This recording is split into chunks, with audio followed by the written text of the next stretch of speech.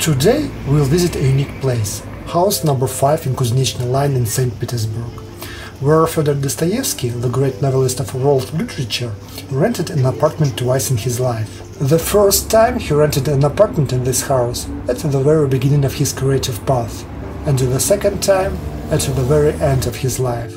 His last novel, The Brothers Karamazov, was written here.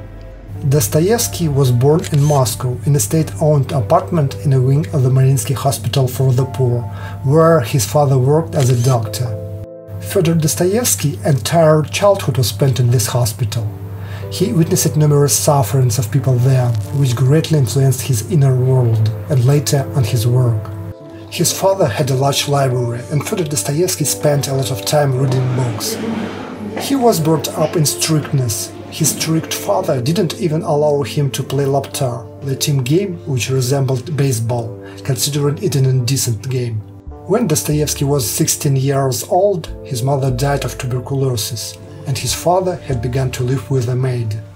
This comes as a great shock to the young Fyodor Dostoevsky, who was brought up in traditional family with strict rules. Dostoevsky was educated at an elite private boarding school in Moscow.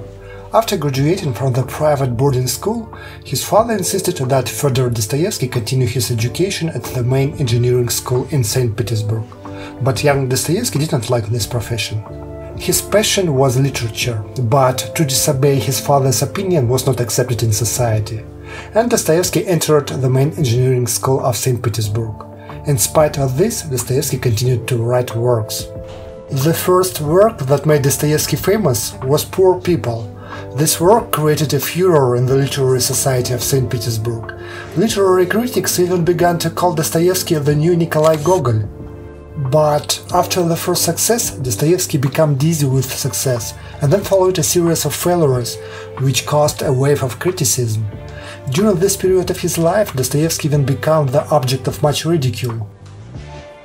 At the same time, Dostoevsky became fascinated by socialist ideas, ideas of equality. He began to attend meetings of the Russian utopian Mikhail Petrashevsky. Despite the fact that Petrashevsky's club was more of a meeting place for amateur philosophers who discussed the topical problems of Russian life and were not focused on changing the government, all members of the club were arrested by authorities and sentenced to death.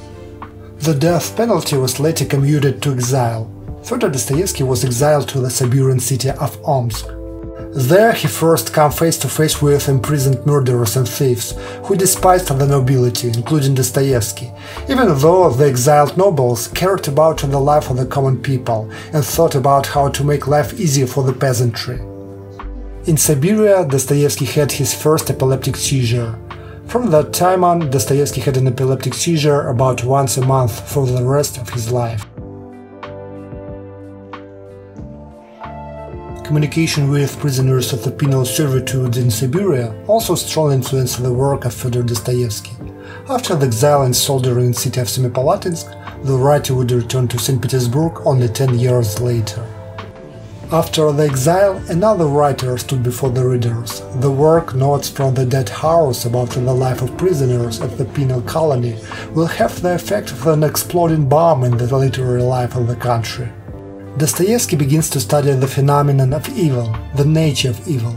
He likes to look into the human fall. Dostoevsky himself becomes more religious. Dostoevsky's biography is full of evidence of complex and painful relationships with women.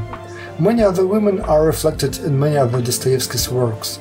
Unsuccessful relationships with women continued in his life until he was married to Anna Snitkina, who was originally his stenographer. She dutifully endured all of Dostoevsky's weaknesses, especially his gambling addiction. Dostoevsky repeatedly lost his last money in casinos. He pawned and repurchased his wedding ring more than 10 times. At times, when they had nothing to eat, he got into huge debts. His royalties for written works were low. He earned three or five times less than his equal in talent, such writers as Tolstoy and Turgenev. The Dostoevsky family couldn't afford to live in St. Petersburg, so they had to live in Europe. What an irony! Dostoevsky's wife's letters contained records of how cigarettes got cheaper as they got further away from St. Petersburg. So, for comparison, the fee paid to Fyodor Dostoevsky for the novel The Idiot amounted to 7,000 rubles in 1868. This is a little more than 2 million modern rubles, or about 27,000 American dollars, while the fee for Crime and Punishment amounted to only 1,000 rubles, that is 7 times less. Subsequently, Dostoevsky gets rid of his gambling addiction. Dostoevsky's view of the world becomes more traditional and religious. It seems that there is not even a trace of his former socialist ideas left. Five of Dostoevsky's most recent novels deal with the subject of murder. The most famous of them is Crime and Punishment. But it would be wrong to consider these novels simply as detectives. They are psychological dramas in which the murderer searches for the God and his place in life. His works are also philosophical works, so it's not surprising that the writing of famous philosophers of Dostoevsky's contemporaries, such as Friedrich Nietzsche and Jean-Paul Sartre, contain repeated references to Dostoevsky. Toward the end of life, many famous writers slipped into a kind of preaching in their works. Dostoevsky was not exception. Many of what Dostoevsky said is controversial, but like any genius, he is not sinless.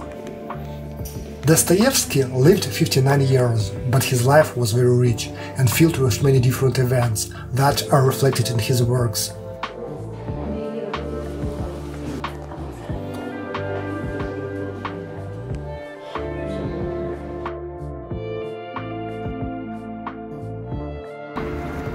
Ты владеешь